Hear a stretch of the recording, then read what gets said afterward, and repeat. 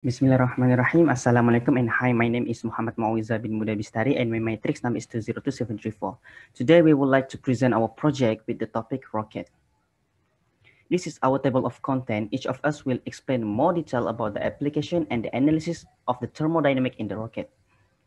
Okay. Rocket is one of the humankind's achievement and it comes in many different shape and size, but all the rockets are propelled by engine that produce thrust. I will explain about some steady flow engineering device in the rocket engine. Firstly is pump in the rocket engine. So by having the mixings of fuel and oxidizer might be a sufficient engine, but we need to increase the velocity at which it goes out. So to increase the flow rate of the fuel and the oxidizer to the to enter the combustion chamber, we need to increase the pressure. So the only device that increase the pressure of the fluid is pumps. Pumps are the device that used to increase the pressure of the fuel and oxidizer that give the engine more rapid combustion. The second one is heat exchanger. Heat exchanger is a device where two moving fluid streams exchange heat without mixing. So the hot the heat of the hot gases is used to convert the liquid oxygen into the gaseous oxygen. And the lastly is the nozzle. A nozzle is a device that increase the velocity of a fluid at the expense of pressure. A rocket nozzle is shaped converging diverging. So the converging section of nozzle will accelerate the fluid to a subsonic flow, while the diverging section or the expansion area, it's meant to further accelerate the combustion much more to supersonic flow so that the rocket can produce the high velocity thrust needed to launch the rocket. That's all from me. I will pass to the second presenter. Thank you. Thank you. I am Jayaraj and I'm going to present on the application of first law of thermodynamics in the rocket. Firstly, I'm going to explain the law generally. The first law of thermodynamics states that energy cannot be created or damaged, where it can only change forms. It is an expression of the conservation of energy principle. From this equation, we can know that the net change in the total energy is equals to the difference between work done on the system and the heat flow out of the system.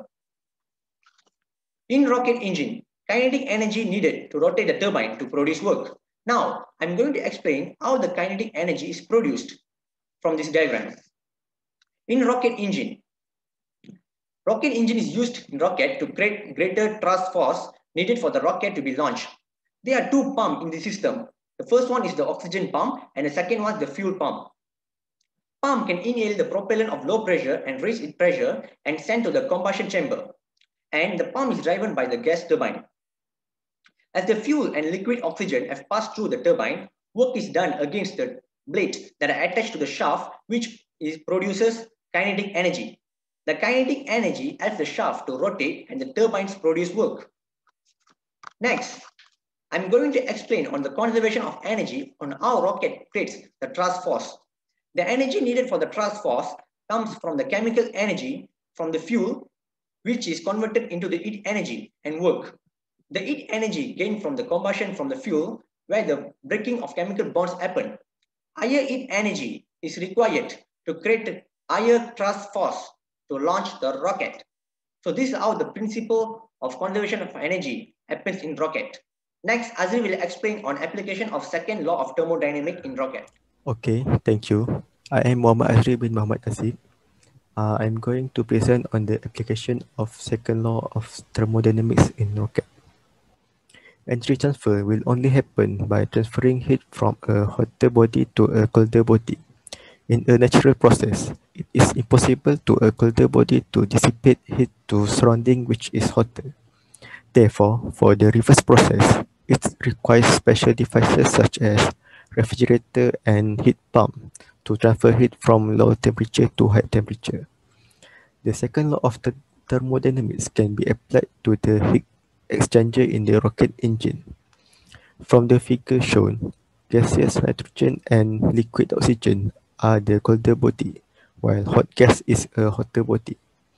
Heat is transferred from the hot gas, resulted in the production of heated and expanded gaseous nitrogen and gaseous oxygen which then will be injected to the combustion chamber for combustion process with fuel. For the second, Uh, every energy consists of quality and quantity. So, in the real world process, the process will only happen in the way of decreasing quality of energy. There will always some losses occur. This shows that the efficiency of any energy transfer process will never reach 100%. This law can be applied to the combustion chamber of the rocket engine. In the combustion chamber, only some of the energy produced by fuel through combustion will be converted to work output, while most of the energy produced is wasted to surrounding in the form of heat. That's all from me, and I will pass to the next presenter. Thank you, Azri. Hi, Assalamualaikum. My name is Muhammad Syarifuddin bin Shahferi and my metric number is 204304 and I am going to explain about the thermodynamics analysis in rocket. As we learn in thermodynamics, we can know the parameter of a fluid given that we have some other parameters of the fluid. For example, if we know pressure and temperature of a fluid, we can know its specific density, its specific volume, and then also its enthalpy. And also in thermodynamics, we have some devices that were created basically on the principle of thermodynamics, such as the heat exchanger, the compressor, turbine, mixing chambers, and others. In a rocket engine, we have the pump, heat exchanger, and nozzle as the main components of a rocket. And these are the three devices that we are going to analyze.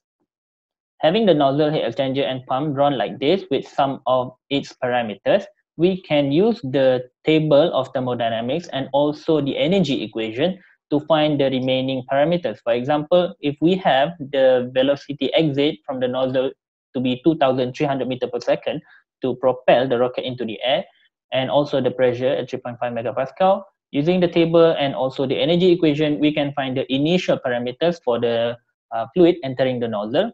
In this case, the fuel fluid. Uh, and these parameters at the entrance of the nozzle is going to be the exit parameter of the heat exchanger, which connect to the pump. And at the pump, we have we can find the work that we need in order for the pump to increase the pressure of the fuel to the desired um, pressure at the heat exchanger. So all these are connected and given the parameters that we find from these calculations, we can use the information to design our rocket engine and also we can choose the material that we need in order for it to hold the pressure and other information. So that's all from us. Thank you very much.